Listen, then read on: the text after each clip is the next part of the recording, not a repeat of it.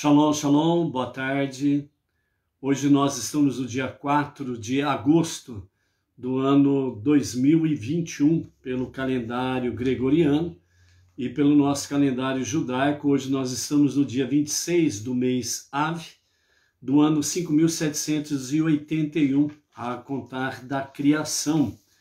E nós estamos aí na nossa última semana do mês de Av, e pela graça misericordiosa de Hashem, né, na primeira, na, no pôr do sol de domingo, agora dia 8, ao pôr do sol de domingo, nós estaremos adentrando literalmente no primeiro dia do mês de Elul, que é o último mês do ano, e dessa forma nós estaremos aí adentrando, né, é, no mês de Elul, e, nas, e no dia 6 de setembro, ou seja, numa segunda-feira, 6 de setembro, ao pôr do sol, nós estaremos adentrando no primeiro dia do mês de Tishrei e nós estaremos iniciando Rosh Hashanah, o ano novo judaico 5782. Então, temos aí pela frente né, o último mês do nosso ano. 5.781. Então, vamos nos preparando para o encerramento do ano e também né, nós vamos nos preparando para a conclusão do nosso ciclo dos estudos da Torá. E, e nós então estaremos aí é, com a última paraxá é, no dia 18 de setembro, né, a última porção é, do livro de Devarim. E no dia 2 de outubro, né, aliás, melhor dizendo, né, na semana é, em que nós estaremos, dia que inicia no dia 28 de é, 27 de setembro, né? Então, na, no domingo, primeiro dia da semana, 27 de setembro, nesta semana, nós estaremos iniciando, então, né, a primeira porção do primeiro livro da Torá, o novo ciclo dos estudos da Torá. Então, o novo ciclo dos estudos da Torá, nós estaremos iniciando no primeiro dia da semana, no dia 27 de setembro. E durante a semana, que vai até o dia 2 de outubro, é a primeira semana do novo ciclo dos estudos de Torá onde nós estaremos reiniciando os estudos de Torá, um novo ciclo correspondente ao ano 5782, né? E aí estaremos então com a primeira porção de nome Bereshit, que leva exatamente o nome do nosso primeiro livro dos cinco livros da Torá, Gênesis, Bereshit, literalmente significa no princípio, né? Então, 27 de setembro, nós estaremos iniciando um novo ciclo dos estudos de Torá. E agora nós vamos né, nos preparando aí, última semana do mês de é, Av, e aí vamos adentrar no mês de Elul, que é o último mês do ano, e aí nós teremos pela frente, então, né, o Rosh o Ano Novo Judaico, né, e e adentrando no ano novo judaico, nós vamos ter aí então o período de é, do ano novo, vamos ter pela frente Yom Kippur, né? Vamos ter aí dentro dessas é, dentro desse início de novo ano, 5.782, né? O Rosh Hashanah, Yom Kippur, o dia do perdão. Teremos aí a festividade de Sukkot, né? Que é, o primeiro, é o, a festividade de Sukkot de sete dias. No oitavo dia teremos o Shemini Atzeret, que é o oitavo dia da festividade de Sukkot. E no nono dia nós teremos o Simchat Torah, que é a alegria da Torá. É aqui que se finda, né, de uma certa forma falando, é, as festividades do início do novo ano e também fecha-se completamente o ciclo né, do, dos estudos de Torá anterior, e aqui reinaugura, vamos assim dizer, né, o novo ciclo dos estudos de Torá, que no domingo, né, dia 27 é, de setembro, né, nós, é, estamos, nós estaremos aí é, iniciando esse ciclo novo né, dos estudos de Torá. Né? Então, é, deixa eu ver aqui pelo calendário. Ok. 25, 26, domingo, né? Então, 26, domingo, né? É, 26, domingo de setembro, nós estaremos iniciando um novo ciclo dos estudos de Torá, né? Então, é, são as festividades do início do novo ano e com o início do novo ciclo dos estudos de Torá, que nós estaremos falando mais lá na frente. Ok? Então, vamos lá. Hoje nós estamos a 332 dias do ano 5781 e nossa sabedoria, né, aliás, a sabedoria do nosso Rebbe Menachem Mendel é, para nós hoje, dentro do, do grupo de sete ensinamentos, ciência e tecnologia. Então, a, o nosso Rebbe fala conosco nesta tarde é, falando da seguinte forma dentro desse aspecto: ciência e tecnologia. Então, o Rebbe assim diz. O entendimento do cientista começa do lado de fora e tenta penetrar no assunto de baixo para cima. Ele começa com o empirismo subjetivo, numa tentativa de deduzir um modelo objetivo. A sabedoria daquele que sabe a Torá começa de dentro e procura a saída, de cima para baixo. Ele medita sobre o modelo objetivo do próprio Criador e o aplica para descobrir a verdade por trás deste mundo. Então, essa sabedoria do Rebbe vem mostrar para nós que quando nós buscamos o entendimento de cima para baixo, ou seja, do, da, do ponto de vista de Deus, que é o Criador, então nós estamos no caminho certo. Ele é o Criador. É Ele que conhece todos os mistérios do mundo visível e do mundo invisível. Ele é o Criador que formou todas as coisas, criou todas as coisas pelo poder da Sua palavra. Então ele conhece de fato os segredos, os mistérios, a intimidade de cada partícula que existe no universo, do mundo visível e do mundo invisível. Então aquele que de fato, né, a sabedoria, aquele que de fato busca a sabedoria do ponto de vista da Torá, do ponto de vista do Criador, então de fato ele vê o modelo é, que Deus determinou, que Deus estipulou para este universo, para este mundo inferior. Por isso, desde o princípio, o propósito de Deus é fazer deste mundo o seu lar. Então, o modelo objetivo de Deus é que este mundo seja a sua casa. É onde ele possa estar junto com os seus. Então, esse é o modelo objetivo de Deus. Por isso, desde o princípio, há milênios, os nossos sábios vêm falando constantemente que o objetivo supremo do povo judeu e daqueles que abraçam a fé monoteísta com fundamento judaico, o objetivo supremo é transformar este mundo para ser o lar de Deus. É aí que está a verdadeira sabedoria, o verdadeiro conhecimento, quando vem de cima para baixo, da parte do eterno, o soberano, o Criador, o único Deus e o único Salvador.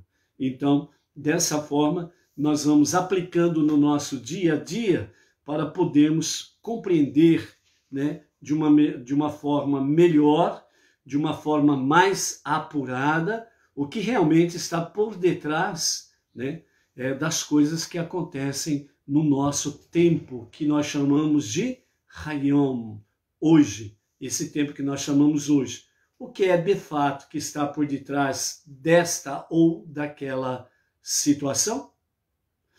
É a mesma coisa. É muito simples você falar que, diante da pandemia, né?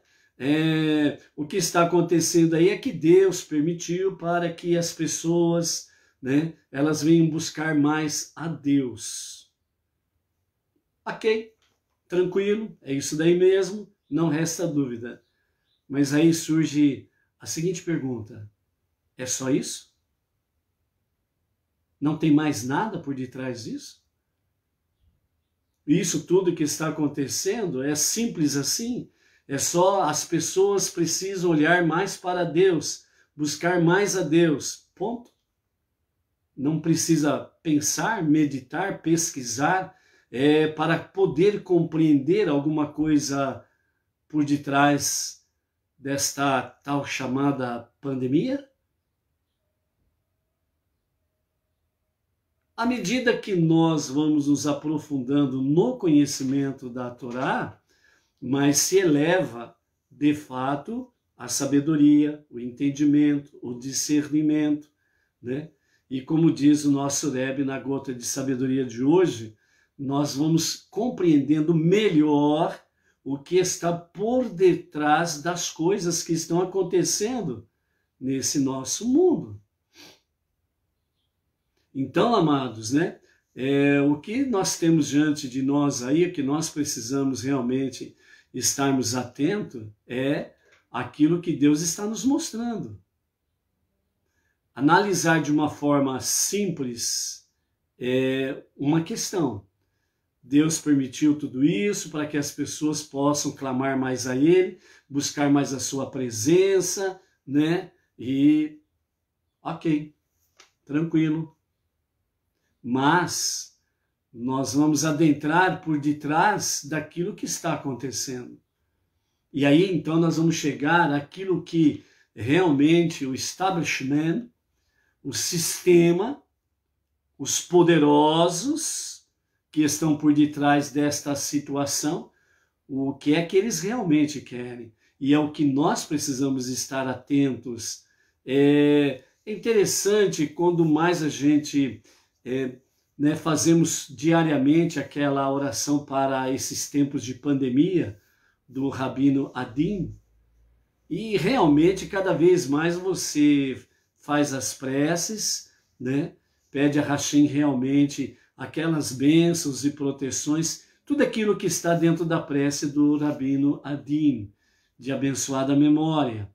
É, e você vê ali é, cada dia você vê algo e entende algo, né?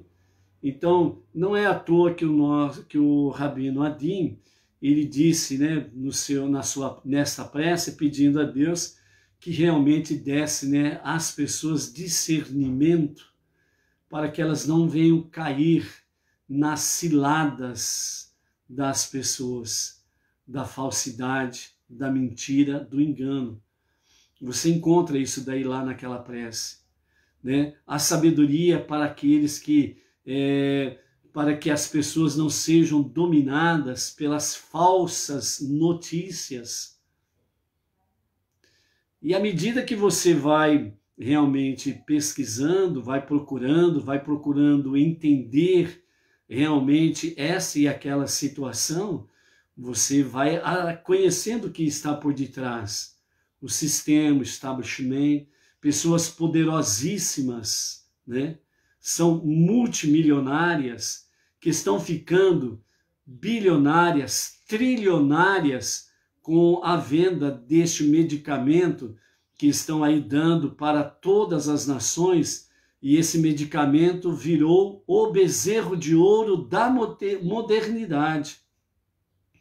E as pessoas estão desesperadas por esse bezerro de ouro e estão aí cada vez mais entregues realmente ao sistema deste bezerro de ouro, o establishment. A tentativa de colocar um governo mundial, é, a tentativa de um sistema envolvido, movido, influenciado realmente, é, em que desprezam totalmente a Deus pessoas inteligentíssimas que colocaram toda a sua sabedoria para fazer exatamente o contrário daquilo que Deus quer. E por isso viram que realmente nesse bezerro de ouro eles podem ficar trilionários cada vez mais. Ninguém está aí com a vida humana. Não estão preocupados com a vida humana, estão preocupados com o bolso. O Deus deles é o Deus do bolso, é o Deus é, da riqueza, né? Então, nesse sentido aí, as pessoas, estas pessoas envolvidas, né, elas estão preocupadas com isso, não com a sua vida. Muito pelo contrário, eles querem que a, a, o controle populacional seja uma realidade.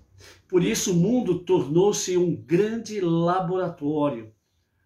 Né? Agora, os ratinhos de laboratório não estão mais limitados dentro de um espaço confinado, dentro de paredes, e os ratinhos de laboratório já não estão mais ali, não serve para mais nada, porque agora eles encontraram é, realmente uma grande criação de ratinhos.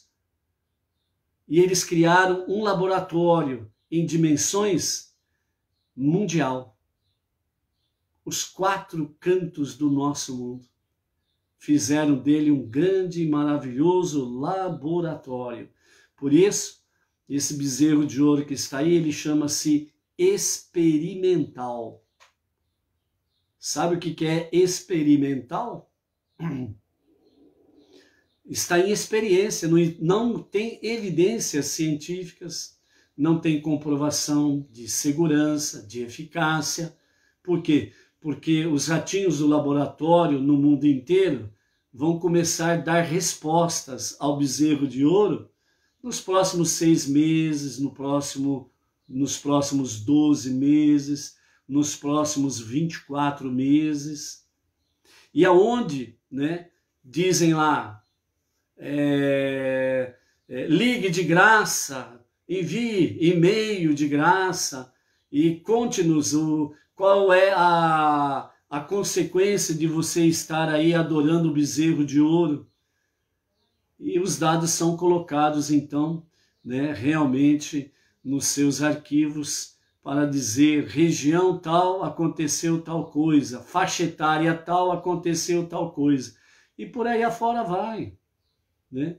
Então, realmente, né, amados, tudo é para um controle da população é um controle mundial, né? É isso daí que a donária Carmen está falando, né? É, as pessoas só vão poder ir e vir se mostrarem a carteirinha do bezerro de ouro. Sem a carteirinha do bezerro de ouro, não podem ir e vir. Essa é a tentativa. Em alguns lugares aí, né, nas redes sociais, aparecem aí né, pessoas sendo pega à força, com força policial, para serem vacinadas em várias partes do mundo. Vacinação obrigatória. É, se o bezerro de ouro é bom, por que precisa ser obrigatório? Aquilo que é bom não precisa ser obrigatório, as pessoas buscam livremente, não é verdade? E se, é, se tem eficácia, segurança, né? não precisa ser obrigatório pegar as pessoas a forças e fazê-las adorar o bezerro de ouro. As pessoas normalmente vão, iriam, né? Por que, que os pais hoje em dia, é, já há muitas décadas, né, procuram né, os postos de saúde para levar os seus filhos para tomarem a vacinação da SEIB contra a paralisia infantil? Por quê? Porque houve pesquisa nas pesquisas chegaram às conclusões e quando foi de fato oferecido o remédio à população, ela tinha comprovação científica, tinha segurança e tinha eficácia. Por isso que a paralisia infantil ela foi erradicada. Porque todos os testes foram feitos e seguiram os seus protocolos corretamente desde o laboratório até ser aplicado na última fase, né, realmente é, em pessoas. E aí veio a comprovação realmente científica, eficácia, segurança. e foi comprovado através dos tempos. Agora, assim, querem empurrar de goela abaixo esse bezerro de ouro e as pessoas, infelizmente, estão dominadas pelo medo, pelo pavor, pela ameaça: você vai morrer. E as pessoas estão aí, doidinhas, como diz o outro, né? Para participarem da adoração ao bezerro de ouro. Então, por isso, amados, que a nossa prece ao Todo-Poderoso seja para que, de fato, sejamos preservados da obrigatoriedade, né? que seja de fato voluntária. Afinal de contas, liberdade é o maior bem que as populações têm. Perdeu a liberdade, você perdeu a vida. Simples assim. Ok? Vamos em frente? Então, louvamos a Hashem por esse momento, né, à tarde com a Torá, Donária do Car, Donária Carmo, né, lá de Lisboa, Portugal, a Maria Luísa de Palmas, Tocantins, é, temos aí o Luiz Ribeiro, a Itaquera, Grande São Paulo, o Josélio Tavares, da é, Silveiras, né, interior de São Paulo, é, quem mais que está aí conosco, dá um shalom aí, Marco Silva, é, quem mais que está aí, dá um shalom aí para aparecer o nome aqui para a gente poder ver, né?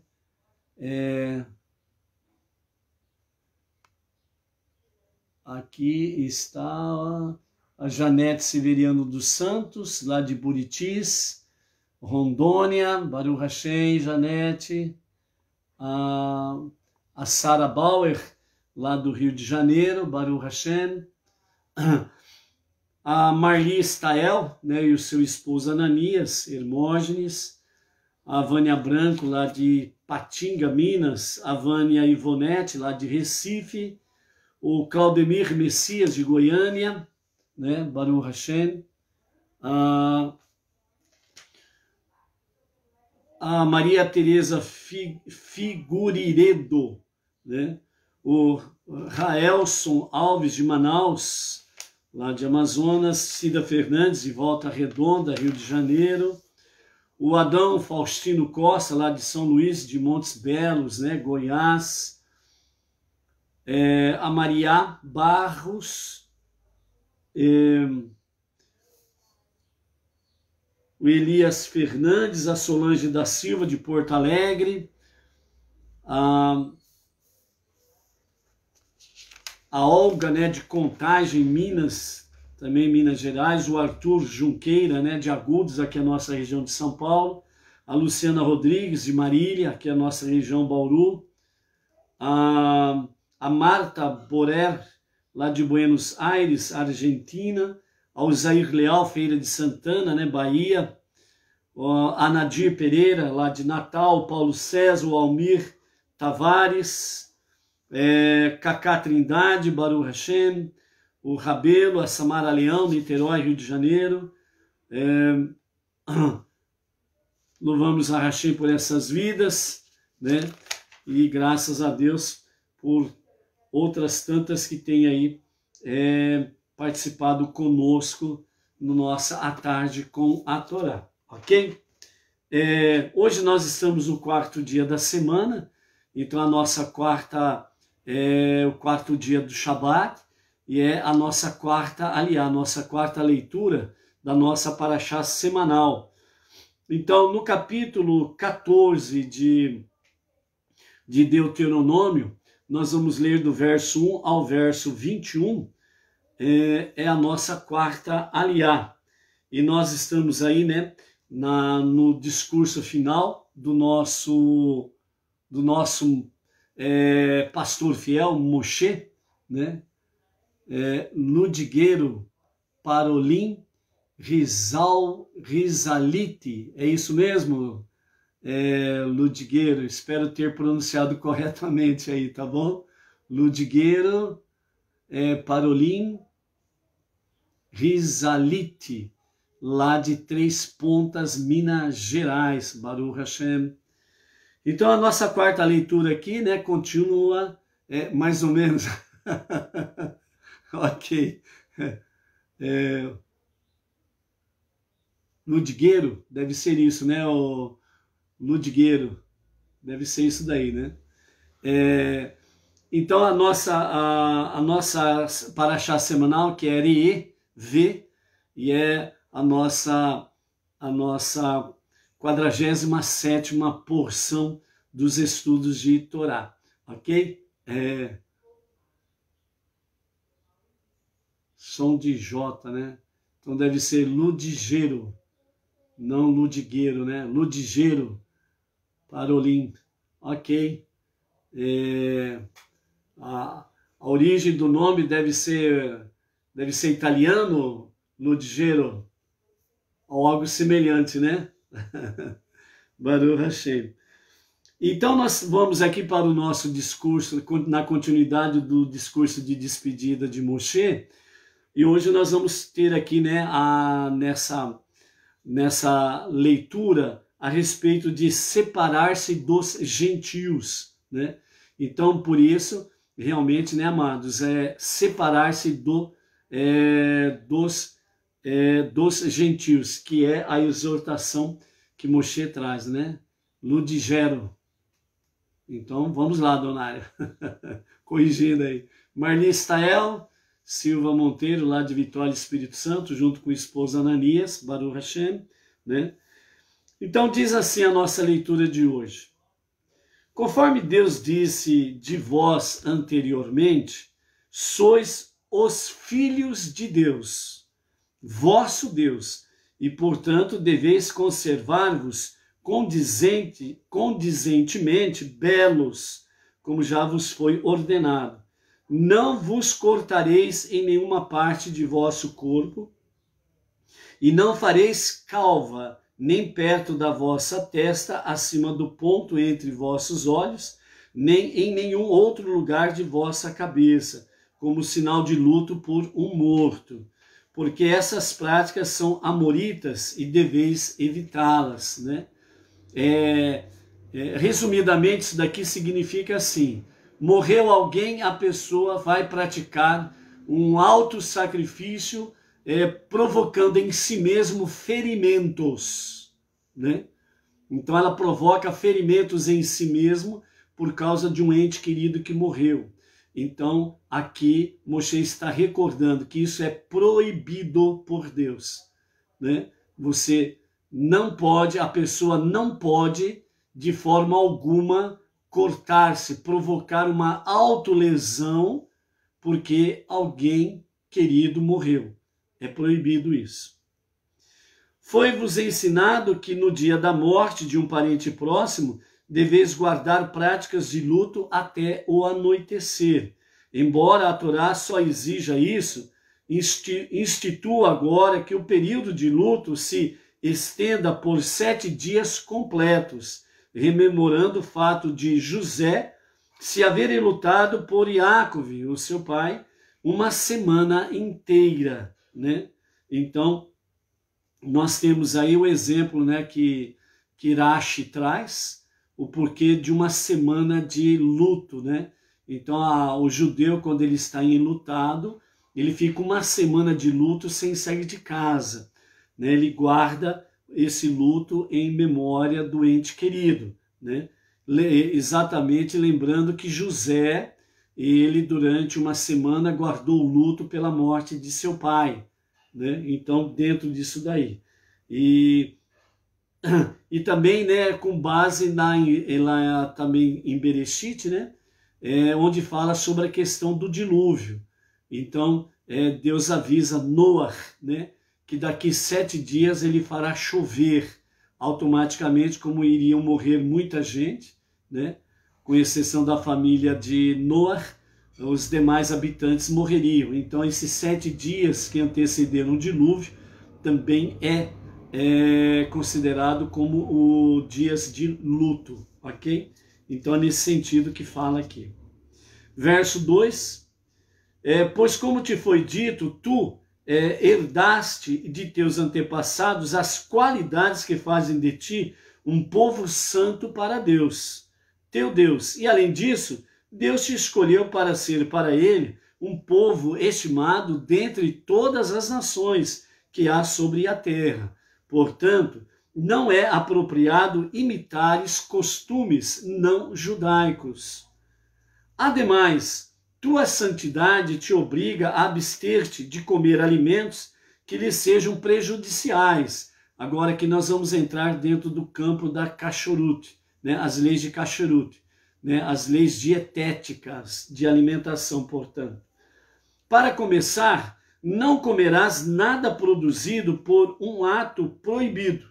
Não comerás tais coisas, assim como não comerás coisa nenhuma que Deus tenha definido explicitamente como abominação.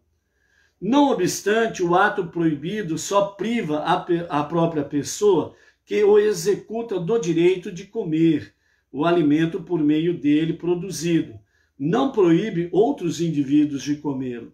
Também não comereis nenhum animal que Deus vos tenha proibido explicitamente de comer, ou seja, a maioria das espécies animais. Esses são os animais terrestres que podeis comer, os quais constituem a minoria desses animais. Dos domesticados são o boi, e outros bovinos, cordeiro e outros ovinos, cabrito e outros caprinos, ou seja, da família dos bovinos, da família dos ovinos e da família dos caprinos, né? podem é, se, se alimentar. Dos animais não domesticados estão os que são permitidos comer o veado, a gazela, o gamo, o ibex, o adax, é, o bisão e o carneiro selvagem, bem como, conforme vos foi dito, todo outro animal terrestre cujos pés sejam é, não só parcialmente divididos, mas completamente fendidos em pelo menos dois subpés e que rumina. A proibição de comer animais que vos tornam que vos tornam espiritualmente impuros, enunciado em outro lugar como mandamento restritivo, também se expressa como mandamento ativo. Só comereis tais animais. Então, esses animais que foram mencionados aqui são os animais que são permitidos comer. O boi, a, a família dos bovinos, a família dos ovino, ovinos a família dos caprinos, que são os animais domesticados. E os animais não domesticados, permitidos para é, se comer, é o veado, a gazela, o gamo, o ibex, né? É, o ibex, ele é, vamos dizer assim, ele é um, aparentemente, né, para você ter uma noção, ele aparentemente, ele é um grande cabrito. Ele também é conhecido, o Ibix, né? Ele também é conhecido como a, é, a, a cabra né, das montanhas, o cabra montês, né? Cabra montês, né? Aqueles que gostam de escalar montanhas, como dizem outros, né? O, esse é o Ibix. O Adax, é, o Adax, ele é ele é muito parecido como, é, como diz assim, ele é muito parecido com a gazela, só de um porte maior, mais forte, né? É, então ele é, ele tem um porte físico mais forte do que a própria gazela ou o gamo, né? Então ele é mais forte, né? Também tem os seus chifres longos, né? E o bisão que é aquele famoso búfalo americano, né, que fala um búfalo americano. Então esse búfalo americano aí que é o bisão, né? Muito visto naqueles filmes de antigos, né? Naqueles filmes de, de apaches, de índios, né? E e as tropas americanas lá, a cavalaria americana, né? Então o bisão ou os grandes búfalos americanos, né? É, e e o carneiro selvagem, né? ele também é, o próprio nome já diz, carneiro, né? Ele tem um, um porte físico mais forte, mais avantajado que o, o cabrito domesticado, por exemplo, né? Ele é mais forte, ele é selvagem, portanto, não resta dúvida sobre essa questão aí. O, o veado, é, ele é mais, é, a, a, a, sua presença é mais nas regiões é, da América do Sul, principalmente aqui no Brasil, nas regiões, né, é, centro-oeste, principalmente ali no Pantanal, né, no Pantanal, Mato Grossense, né? Então o veado ele é, é, ele habita mais assim na sua grande proporção na América do Sul. A gazela ela é mais encontrada ali na, no continente africano, né? Na a sua presença. O gamo ele é, está mais nas regiões da Europa. O ibex, né, que é a cabra montes, ele também está numa, na Europa, principalmente considerado ali a Europa selvagem, de grandes florestas, etc. e tal, e os Alpes, né? O, o Adax, né, que ele está principalmente no norte da África, né? E na parte ocidental do Atlântico até o Nilo, é, onde fica o Adax. É, o búfalo, né? Já falamos, o búfalo americano, predominantemente na, nos Estados Unidos. E o carneiro selvagem, além dos Estados Unidos, a sua presença também é no Canadá. E, e também o carneiro selvagem ele foi dividido em sete espécies, né? A família dele tem sete espécies, né? E também ele é visto muito na região do México, né? Então esses são os animais é, selvagens, né? Permitidos para o consumo humano ok? Onde o fator principal é exatamente os cascos fendidos completamente na perna e que ruminam, né? Portanto, não são carnívoros, né? Então, esses são os animais permitidos, ok? Depois, na sequência aqui, é, nos fala, né? Só comereis tais animais, que são esses que foram mencionados aqui. E se houver, né? é, verso 7 agora. É, Porém, não comereis agora aqueles que são proibidos. É, não comereis. É só para recordar, ok? 100% é uma ordenança para o povo judeu. O não judeu, depois nós vamos conversar. Porém, não comereis daqueles animais que ruminam ou têm os pés fendidos, é, ou dividido, o animal hoje desconhecido ou extinto que possui duas costas e duas medulas espinhais, né? É um animal que já está extinto aí, não tem nem como falar dele, mas foi relacionado na, na, na nas escrituras, né? Então, dos animais que não comereis tem é, o camelo, o irax, o irax é iracoide, ele é uma mistura de rato e coelho, quando você olha para ele, é, você você fala assim, puxa vida, parece que misturou coelho com rato. Né? Então tem uma aparência nesse sentido aí, o irax ou iracoide. Né? Então o camelo, o irax e a lebre, porque ruminam, mas não têm os pés completamente fendidos, só parcialmente. Pois, como foi dito, comê-los vos torna espiritualmente impuros. E o porco, né? Famoso porco, né? Isso é presente em todo lugar, misericórdia. E o porco, porque tem os pés completamente fendidos, mas não rumina, pois, como sabeis, comê-lo também vos torna espiritualmente impuros. Não os, não os comereis, porque apresentam apenas um dos dois sinais dos animais permitidos. Similarmente, não comereis outros animais que apresentem apenas um dos dois sinais, e certamente muito menos ainda aquele que não exiba nenhum dos dois sinais. No entanto, não se transgride a proibição, aliás, no entanto, só se transgride a proibição de comer tais animais quando se come de sua carne. Né? Se comerdes estas partes e não a carne, ou seja, os ossos, tendões, chifres ou cascos, né? Se alguém tiver a fim de comer osso, tendões, chifres e casco, Né? A proibição não se refere a isso. É, então, só se comerdes estas partes e não a carne, transgredireis apenas o mandamento ativo de só comer animais permitidos. Né? A, é, sobre a questão aqui que nos fala, né, é, de nenhum é, não comereis o caso do porco ou qualquer animal que tenha uma das um dos dois sinais, melhor dizendo, e muito menos aquele animal que não tem nenhum dos dois sinais, né?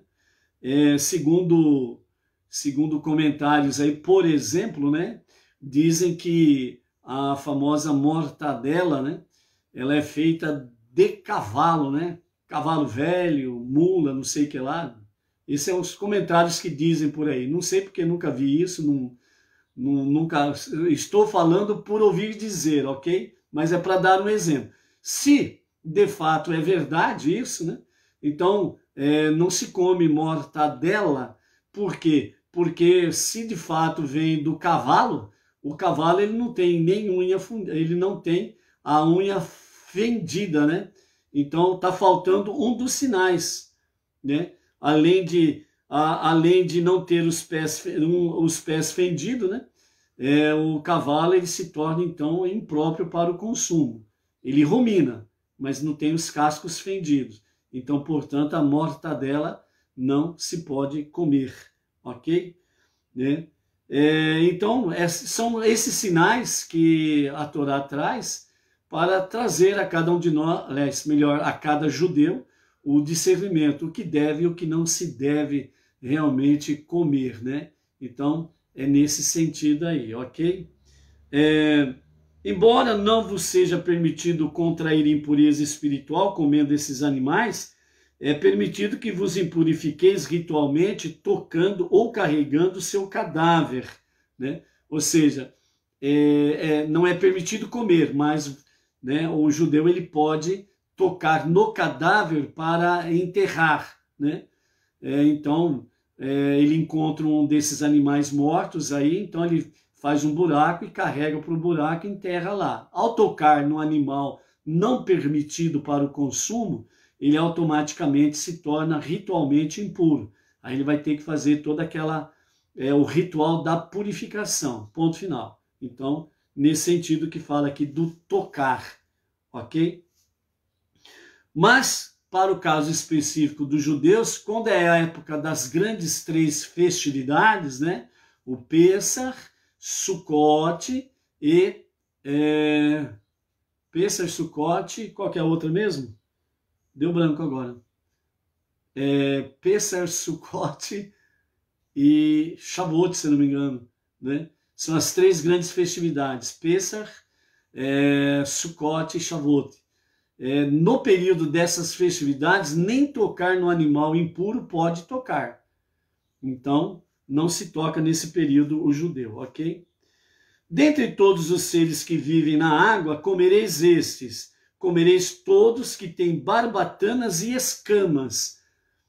Porém, não comereis todo aquele que não tem barbatanas e escamas, pois comê-los vos torna espiritualmente impuros. Ou seja, dentro da questão aqui dos peixes, né? Qualquer peixe de couro não se come, o judeu é proibido comer. Então não come nada de couro. E também os famosos, né, conhecidos como os famosos frutos marinhos, né?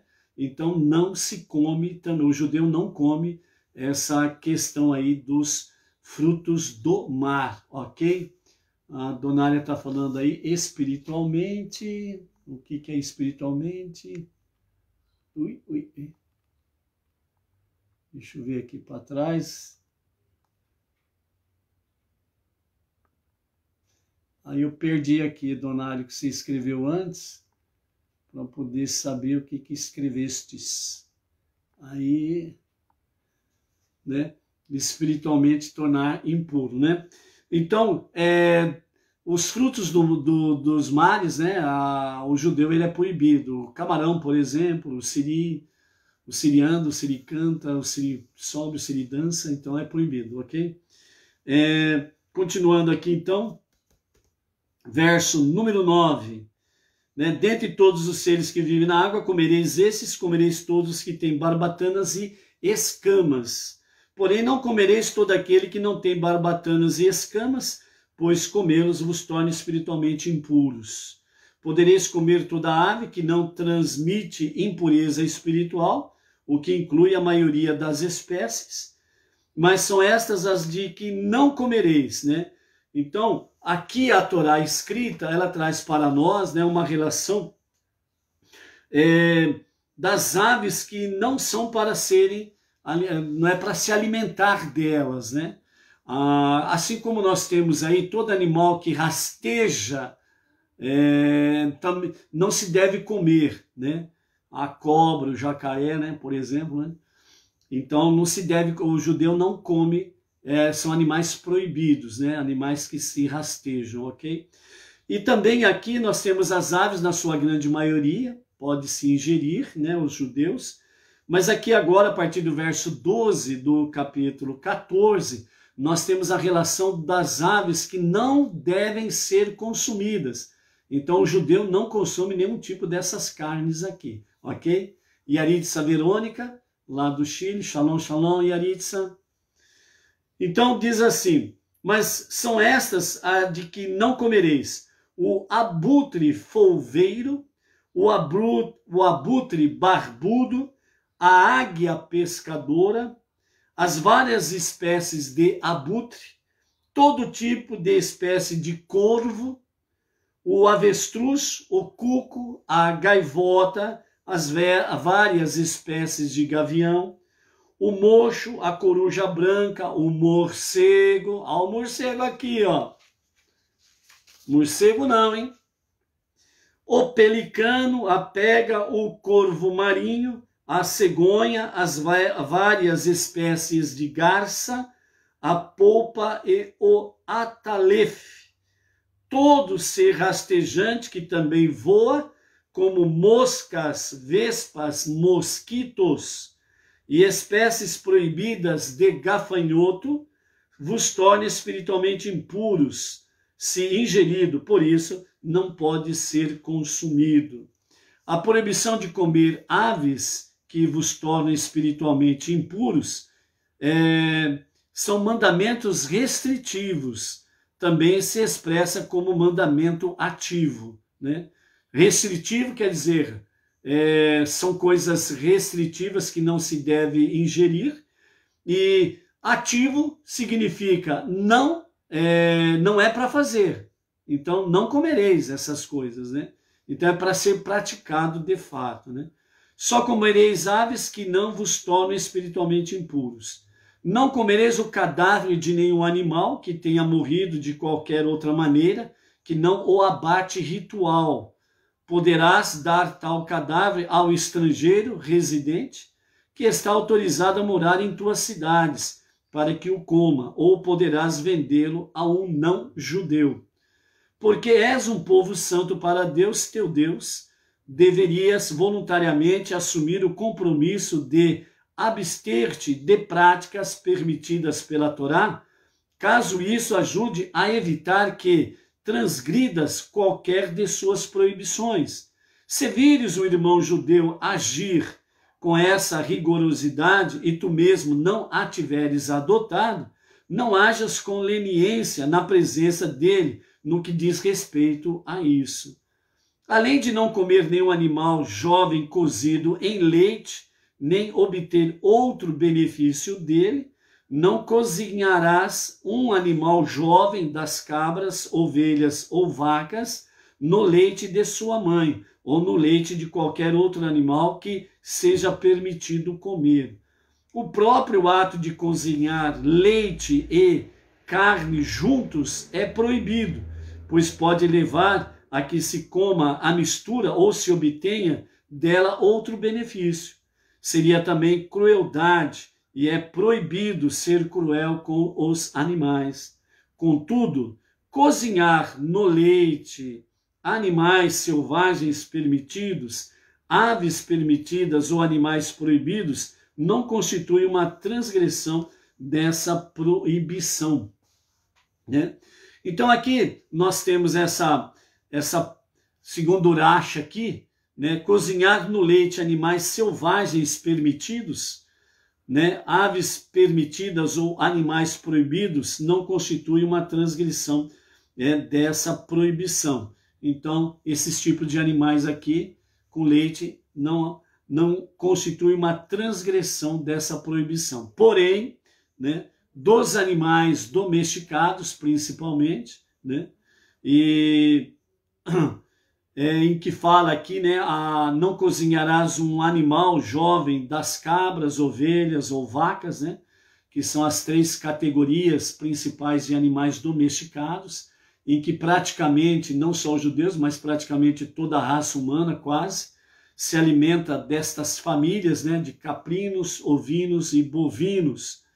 Então, dentro destas famílias aqui, é, não se mistura as suas carnes com leites e derivados. É, fala que não cozinharás um animal jovem né, no leite de sua mãe. Aí você pode dizer assim, mas é, qual é a certeza de que ah, essa, esse hambúrguer que eu estou comendo com queijo, por exemplo, né, é, que é o leite da mãe é, desse bovino aqui. Então aí Rashi ele fala que é, se torna um ato cruel é, é, misturar o leite com a carne. Por quê? um ato cruel. O leite, ele vem de uma mãe. A origem dela é de uma mãe. Ok? Então o queijo, a sua origem vem de uma mãe que deu à luz a um filhote.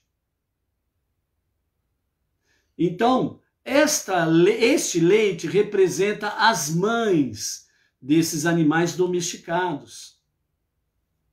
E a carne é do filhote de alguma delas, ou de alguma das suas famílias, ou caprino, ou ovino, ou bovino. Então, de um lado tem leite, que simboliza as mães. Do outro lado tem carne, que simboliza filhotes que elas deram à luz. Porque o boi, ele não dá à luz. O macho das famílias de ovinos, caprinos e bovinos não dão à luz. Quem dá à luz são as fêmeas. Então o leite representa as fêmeas, mães, e a carne representa os seus filhos. Então é crueldade fazer essa mistura. E uma das coisas que é proibido tanto para judeu como para não judeu é não cometer crueldade com os animais, não é verdade? Então é uma coisa para se pensar aí, né? Dentro de um aspecto um pouco mais profundo e mais espiritual, elevado, né?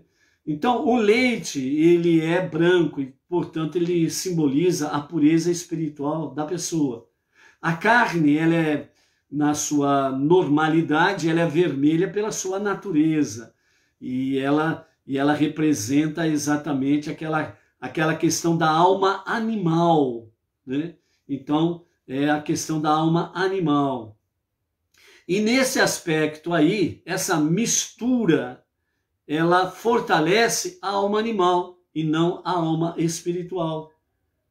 Por isso que, segundo alguns comentários de alguns sábios, fala que o judeu é, não pode misturar o leite com a carne para não afetar de forma negativa a alma divina. Ok? Então, dentro desse aspecto aí, nós temos aí uma visão é, clara para que a, para o judeu.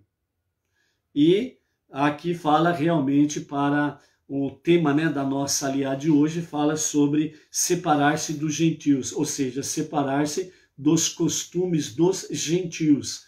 E essa é uma das práticas que o Eterno aqui, né, através de Moshe, tem falado com o povo através é, da sua história desde o seu nascimento oficialmente no Monte Sinai, ok? Mas anteriormente já vivia-se isso daí, os nossos patriarcas, ok? É, aqui no verso é, 21, por exemplo, nós temos aqui que é recomendado é, que o, o animal, né, é, o animal não permitido para o judeu, ele pode inclusive doar para o estrangeiro, residente entre eles, ou ele pode até vender para o não judeu. Mas ele mesmo não se alimenta desses tipos de animais aí, ok? Bom, resumidamente, o que, que nós temos pela frente? Sabemos 100% isto pode para o judeu e isso não pode para o judeu dentro das leis dietéticas, das leis de alimentos, sobre os alimentos, ok? Sabemos isso daí. E para o não judeu? O para o não judeu não é ordenado, não é um dever. Isso nos sábios falam e, as nossas, e a orientação que recebemos dos nossos rabinos fala a mesma coisa. Não é obrigado o não judeu não é obrigado. Mas, né, os sábios falam e os nossos rabinos também falam que todo não judeu que quer praticar isto, a semelhança dos judeus, eles o podem fazer, mas eles precisam obedecer a halachá, que é a, a lei judaica, e por isso precisa da orientação rabínica. Temos a Torá escrita que diz isso, mas para o não judeu é necessário uma orientação rabínica. E dentro da orientação rabínica, aí você decide: sim, eu tenho condições de o fazer. Não, eu não tenho condições de não o fazer. Ou seja, o que, que mostra essa realidade para nós? Mostra a seriedade destas mitzvot, destes mandamentos, é ordenado aos judeus. E todo esse cuidado, esse zelo, o não judeu, ele pode fazer desde que obedeça a halahá, a lei judaica, com orientação rabínica. É para nós entendermos que a coisa é séria. Não é para ficar brincando. Ah, eu vou tentar. Se eu conseguir, consegui. Se eu não conseguir, não consegui. Beleza. Tanto faz ir para baixo como ir para cima. Tanto faz. Não, não faz. Tem muita importância. Por quê? Porque, amados, uma coisa que nós temos que aprender: nós não podemos ser crente pastel de feira. A nossa imuná, ela não pode ser como um pastel de feira. Lindão, bonitão, mas na hora que você dá a bocada, aí o pastel diz faz assim, puf, só sai ar. Não podemos. A nossa emuná, ela não pode ser emuná de pastel de feira. Ela tem que ser real, tem que ser verdadeira.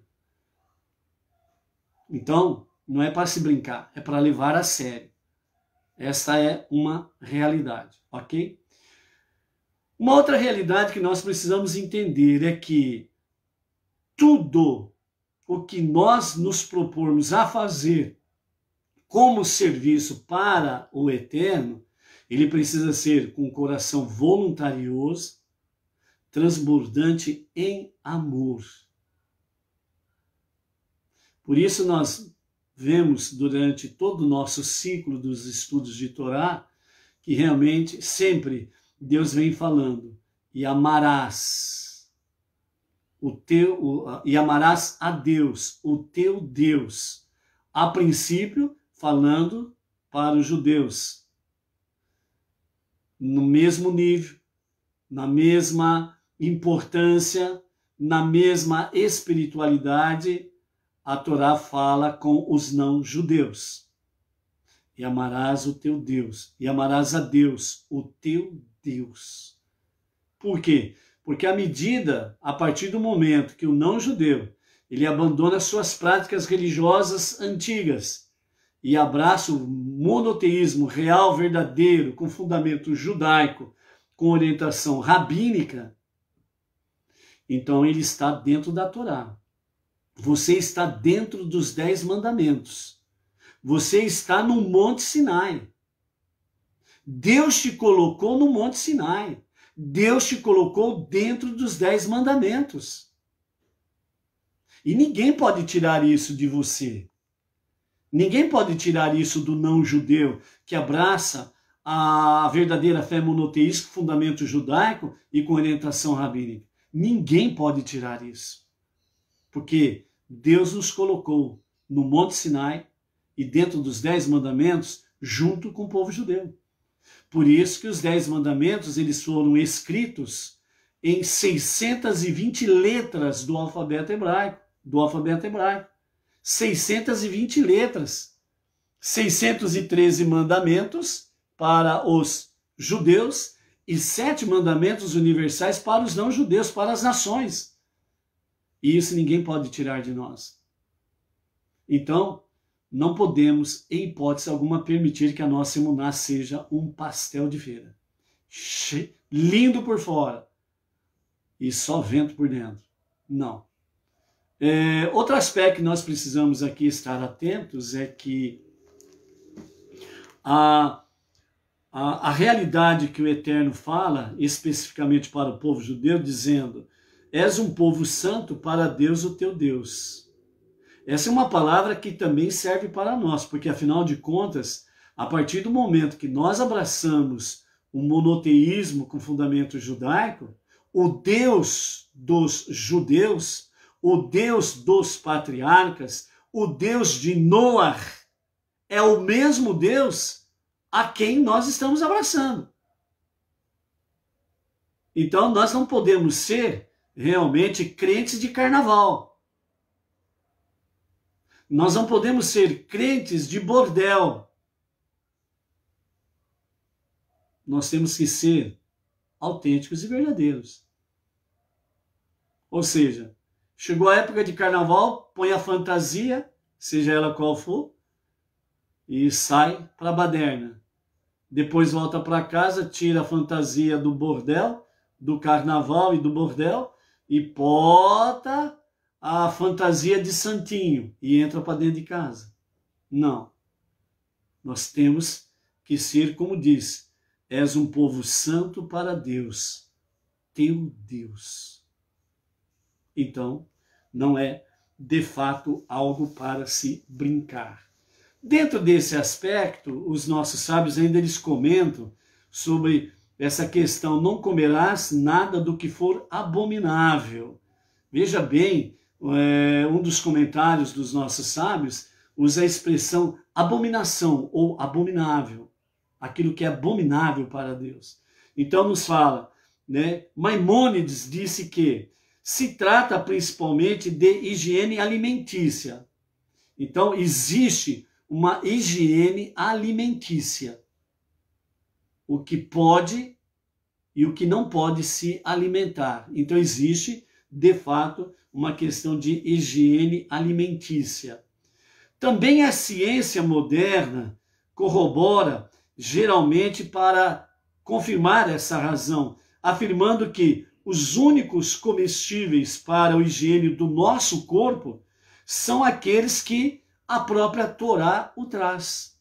Então, esses animais permitidos são os animais que estão dentro de uma cadeia alimentar saudável.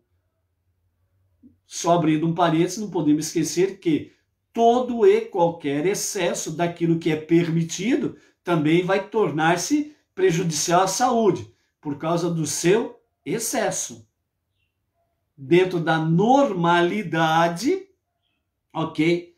Então, esses alimentos permitidos são é, saudáveis ao ser humano.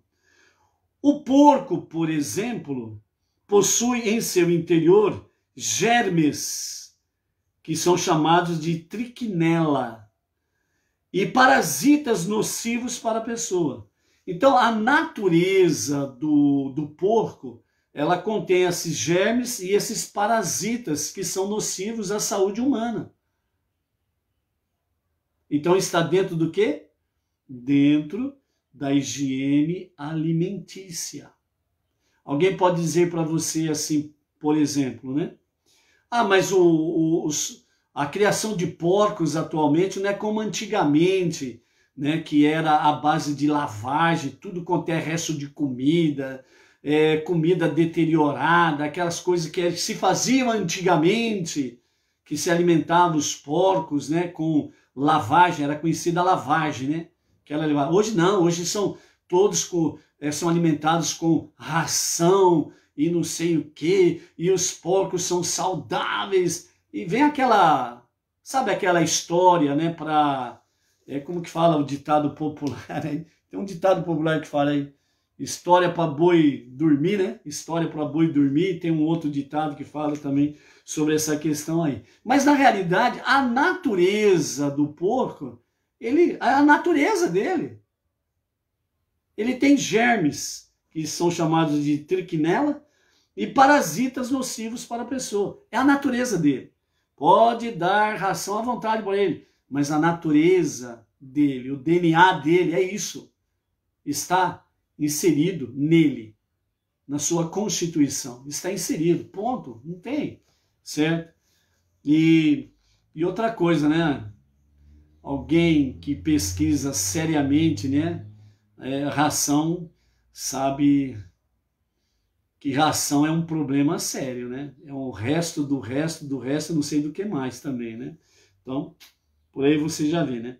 Bom, continuando, é, porém, muitos comentaristas mencionam outro princípio, a influência moral. Já que existe uma influência do físico sobre o moral, e a causa da proibição seria essa influência. Ou seja, para que não haja uma influência negativa do âmbito moral das pessoas. Vamos Vamos em frente aí. Assim como certas enfermidades causam putre, é, perturbações físicas, a ingestão de animais proibidos provoca efeitos negativos sobre as faculdades morais da pessoa. Dentro dessa questão, faculdades morais, nós temos aquilo que vimos né, é, durante a semana, as leituras anteriores as nossas faculdades mentais, que são chamadas de cognitivas, e as nossas faculdades emocionais, os sentimentos. Então, esse tipo de alimentação proibida que a Torá traz, uma ordenança específica para os judeus, é dentro de uma cadeia chamada de higiene alimentícia, kashrut leis dietéticas, ou seja, são leis da alimentação, leis de uma alimentação saudável que traz aquele famoso ditado: uma mente sã para um corpo são, um corpo são para uma mente sã. Ou seja, mental, psique, alma divina e emoções sendo bem estruturadas para poder combater o quê?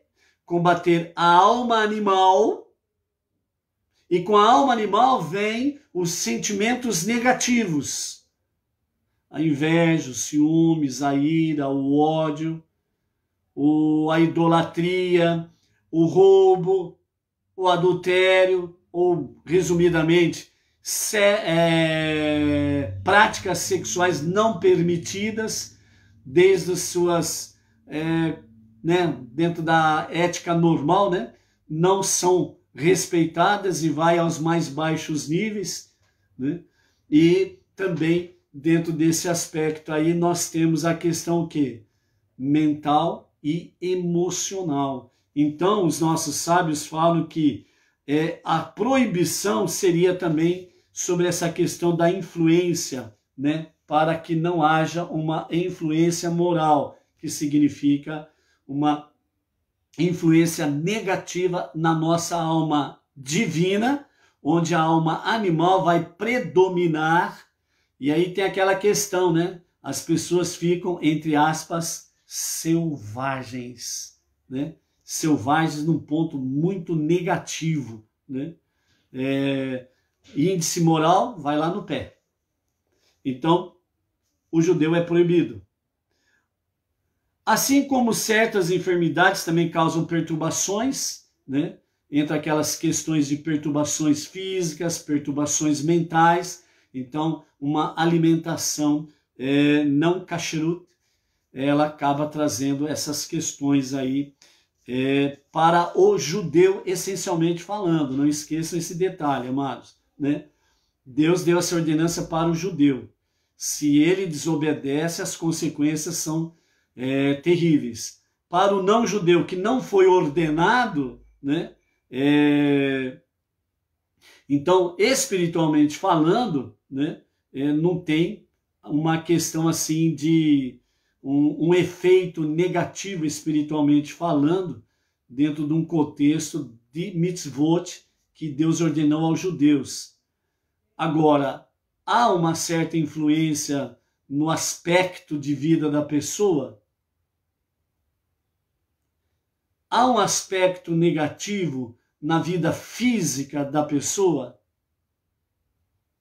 Se a própria ciência comprova que ah, os animais permitidos são saudáveis para o consumo humano, enquanto que os outros não o são, então espiritualmente pode ser que o não judeu ele não tenha uma questão espiritual negativa, mas ele poderá ter uma questão física, mental, emocional negativa, né? Então é algo para ser analisado aí, né? E voltando a falar, não esquecendo que devo ou não devo fazer. Você precisa analisar, refletir sobre essa questão e pedir sem sombra de dúvidas, um aconselhamento rabínico. O nosso Rav Yaakov Geranstad, né, resumidamente, vamos assim dizer, já disse, se alguém, se algum Benenua quer praticar, pode o fazer, mas precisa obedecer a halahá, ok? A lei judaica. Então, dentro desse aspecto aí, a grande importância que a Dorá atribui à proibição de comer certos animais e o lugar que essa proibição ocupa entre as mais sagradas leis religiosas e morais do judaísmo, são uma prova de que não se trata simplesmente de higiene alimentar, senão que existem outros outras causas profundas e divinas longe de serem compreendidas. Trata-se aqui de uma pureza interior, cujo valor escapa à inteligência humana e que somente Deus, conhecedor dos mistérios da formação do nosso corpo e da nossa alma, pode apreciar. Justifica-se isso pelos termos empregados na Torá a esse respeito.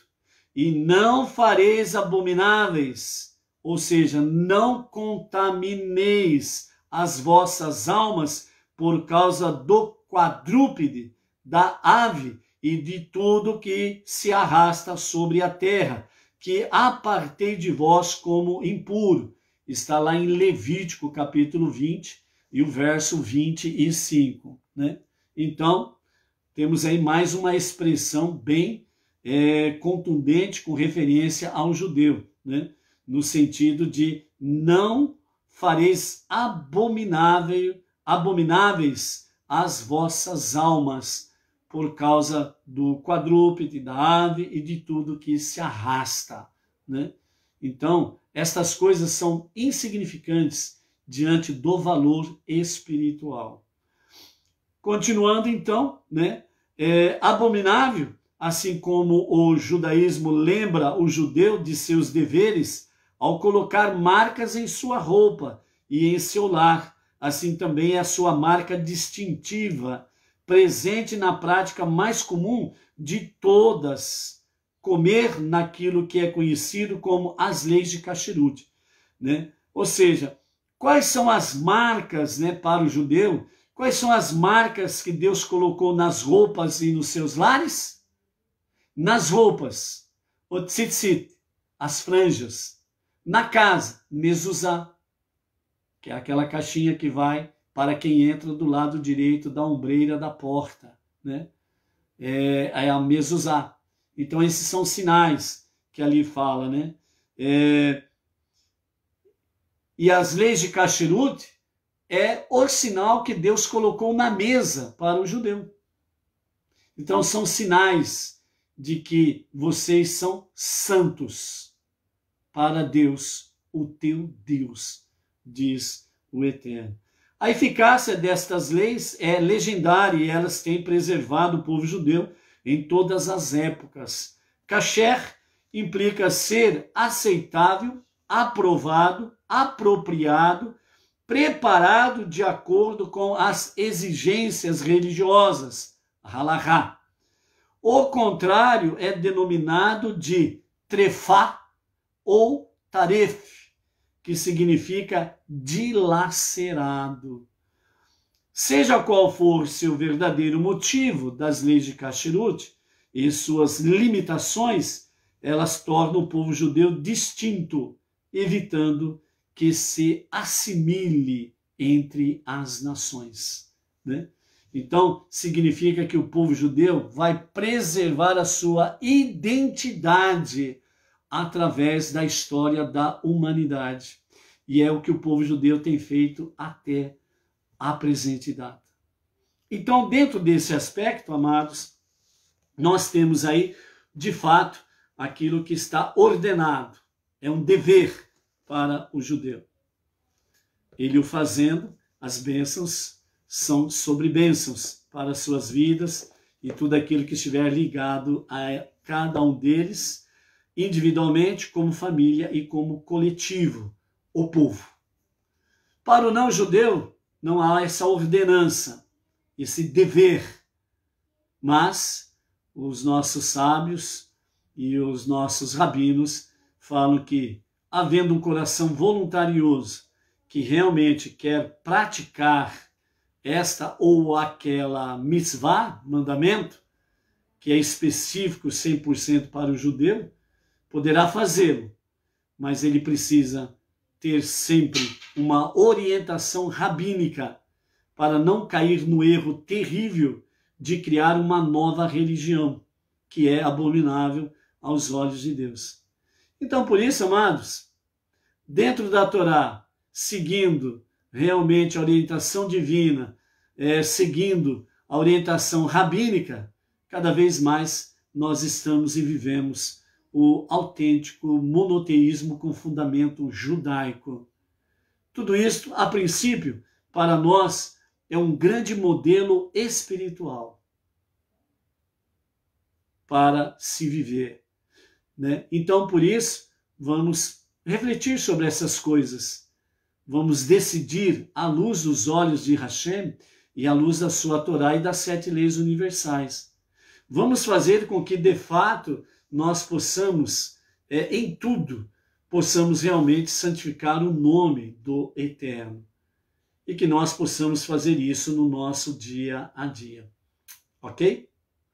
Por isso, sejas forte, sejas luz, sejas santo para o teu Deus, o nosso Deus. Ok? Até amanhã. Shalom, shalom.